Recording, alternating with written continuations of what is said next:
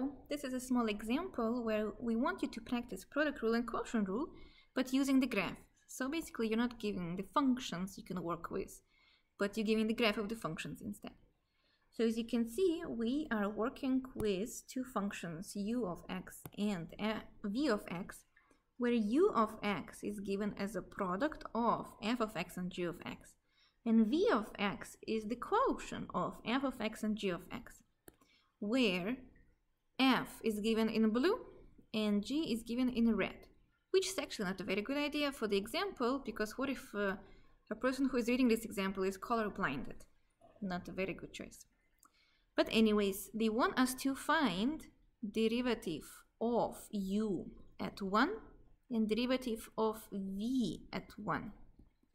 Question mark, question mark, solution. When you stuck with something, always start with things you know. For example, u is given as f times g. Well, then we know that u prime will be a product rule. Product rule gives you derivative of f times copy g plus copy f times derivative of g. Any order is fine, whatever you like. You can put this in the box if you want because we're going to use this. Now, it's pretty simple to find g and f at 1. And why I'm talking about 1? Because we are actually asked to find not just the general derivative, but derivative at 1. So I'm going to write down u prime at 1 is derivative of f at 1, and that is the one it's going to be hard to find. Well, not hard, but you will see it's going to be extra step. Then g at 1. So g is red. G is given in red. Let's see, 1 is over here. Red at 1 is 1. So seems like uh, this one we already can write down as 1 plus f at 1. Let's see, blue is my f. So f at 1 seems like 1 as well. That's actually where they meet, at 1. At 1 they both are 1. But then times derivative of g at 1. So the derivatives are the one you actually need to find from the graph. And how do you find those things? So let me make a special note for this. For example, we're looking for g prime at 1. So again, g is red. I want to start with red one since we started before with red one. And red one is over here, as you can see, at 1. First of all, we see that the function is going down, decreasing. So we kind of can guess that slope should be negative. We're talking about slope right now. And uh, there is a way to find these slopes. So we're using, we're finding slopes from the graph. By doing this, imagine a triangle. Here it is, for example, this triangle or this triangle or actually any kind of triangle and you just need two points to find the slope m. Because if you don't remember, I'm going to write down over here, slope m can be found as second change minus first change in y over second change minus first change in x. So it's basically rise over run, which we already knew before, which means we need to kind of make any two points we want and find this ratio. Any two points means it's nice to have convenient points. For example, this point does not look convenient, so I don't want to. This point does not really look convenient either. I like this point, for example. Or actually, there are many points which are good. We can even use this point, uh, which is 1, 1, and this point, which is 2 and minus 1. So let's choose this one. 1 and 1, 2 and minus 1. And I'm going to write down over here that for g, I'm choosing two points, 2 and minus 1 and then I'm working with 1 and 1. And you also do the second one minus the first one. So this is going to be which point comes second? This point comes second, x2, y2 equals, right? And then which point comes first? x1, y1. Order matters here, or else you're gonna you might mess up with the sign. So then the slope will be the ratio.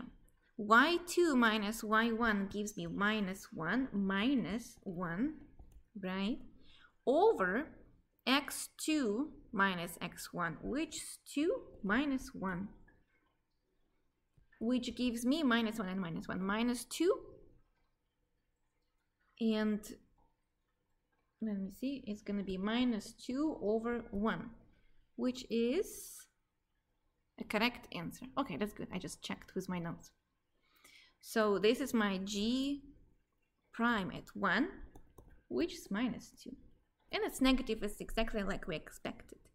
Now the other one, which is going to be f, f prime at 1. Let's choose two other convenient points, but this time for the blue line. This one is good, 0, 0 is always the best point to choose. And next point, you can do this one if you want. What is this? This is 1, 2, 3, and then 1, 2, 3, 3, 3. Anything like that.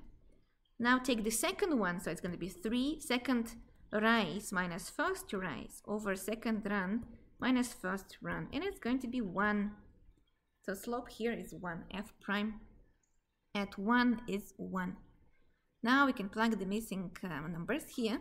I will put them in a purple color f prime at 1 is 1, g prime at 1 was negative 2. And we can complete the formula. So it's going to be 1 times 1 plus 1 times negative 2. That is 1 minus 2, which is minus 1. So the answer is minus 1. That was the first answer. That was A. A. B asks to find derivative of a v at 1. But v is given over here, b and a. v is f over g, so that's quotient rule. I can even write down for you f at 1 over g at 1, everything prime, that's quotient rule. Quotient rule, I usually start with squaring the denominator, so I'm gonna square the denominator, remember it's all at 1, then take the derivative of the numerator, that's f prime at 1, copy the denominator, minus, that's part of the formula, be careful with that. Now, f, copy the numerator at 1 times derivative of the denominator at 1. Order here matters. So try to remember the formula with the correct order.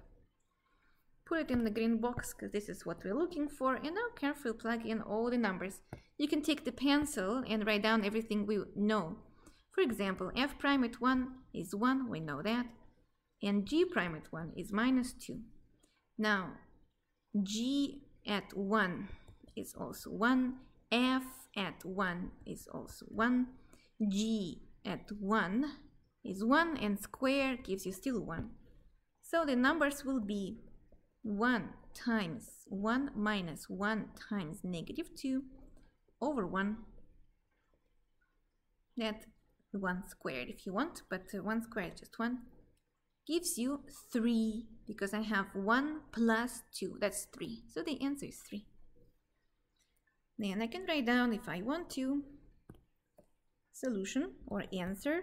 For the first one the answer was minus 1 for the second the answer is 3 and that's how you work with problems like this using the graph. Remember that the function can be given as the expression like f of x equals x squared plus 3.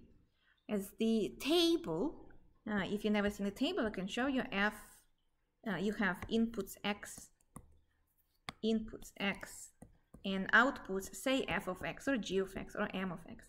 And then you will have some inputs and then you'll have some outputs, 100, pi, and so on. So a function can be given as a table or basically a list of data. That's how data science was created. And like in this example, the function can be given as the graph. And you need to learn how to work with all of these types of representation. Well, hope it was helpful and see you next time.